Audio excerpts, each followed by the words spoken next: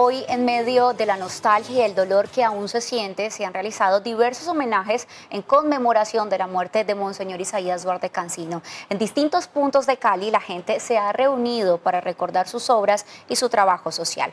A esta hora, en la parroquia El Buen Pastor Iglesia, donde ofreció sus últimas Eucaristías hace 22 años, se lleva a cabo una misa en su honor.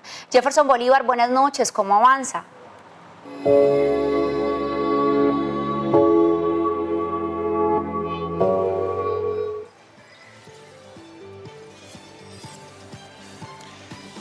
Tefa, buenas noches. Pues los homenajes han finalizado y durante todo el día se han llevado una serie de actividades que van desde conversatorios, reflexiones hasta Eucaristías. La última realizada acá donde nos encontramos en la iglesia El Buen Pastor, donde hace exactamente 22 años a esta hora Monseñor Isaías Duarte Cancino celebraba su última Eucaristía, donde casó a 104 parejas en este lugar. Me encuentro con una de las hermanas de, la, de esta comunidad. Bueno, ha sido un día bastante emotivo y de celebración y justamente acaba de terminar la última de esta eh, conmemoración sí, la comunidad es muy feliz, muy feliz. Esto es una fiesta significativa para nosotros y además que es emocional sentir en este momento esa entrega, la paz que se siente, el sacrificio que hubo no fue en vano, aunque pareciera, no fue en vano. Las personas en su interior viven una entrega, una profecía